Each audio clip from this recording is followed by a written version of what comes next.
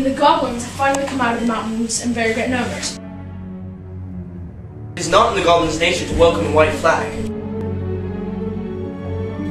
Once you do this, they will scatter, lose courage, and fade back into the mountains. I'm Savasco. And I'm Sir Frederick.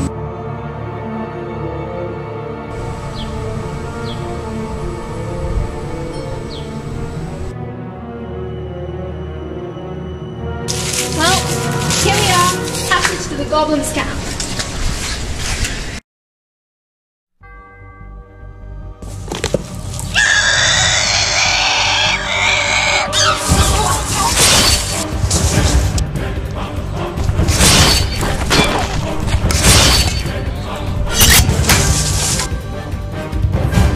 You ain't going nowhere!